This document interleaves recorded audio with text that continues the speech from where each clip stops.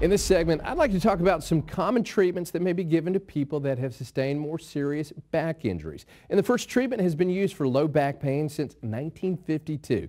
It's called an epidural steroid injection, or ESI. Doctors consider this an integral part of non-surgical treatment of lower back problems. It's a minimally invasive procedure where a doctor will inject a long-lasting corticosteroid and an anesthetic numbing agent into the epidural space of the spine. In the epidural space, well, this is the area between the dura, or the protective covering of the spinal cord, and the bony vertebrae. The goal of an ESI is to relieve pain. Another side benefit is to hopefully decrease the pressure on the nerve root so the patient will be able to participate in some rehabilitative exercise and stretching. Now it's important to point out that these ESIs are not a cure. If there is pain relief, it's going to normally only be for a limited period of time. Well, what are the risks of having an epidural steroid injection? Well, anytime anyone is having an invasive medical procedure, there can be risk. And please understand an epidural steroid injection is invasive. Well, risk may include infection, nerve damage, excessive bleeding, or you could have what's called a dural puncture. Now, a dural puncture, let, me explain this. This is a condition that occurs in approximately 1% of all epidurals.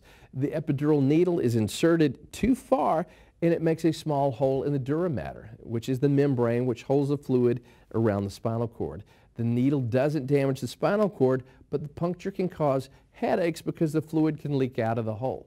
The best way to treat this is with what's called a blood patch. The anesthetist will draw some blood from your arm and then inject your own blood through the epidural needle. And the injected blood will then form a clot over the hole to prevent more fluid from leaking.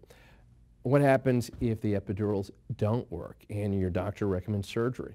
Well, I suggest you schedule an appointment with a doctor to discuss the proposed surgery in great, greater detail. And then ask the doctor the following.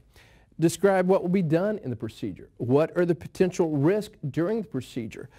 What are the potential risks during the recovery? What can I expect if the procedure and the recovery goes as planned?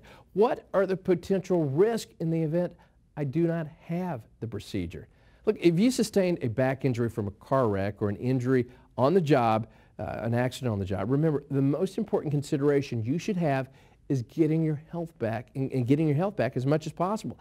Don't take the quick settlement the insurance company is going to dangle in front of you.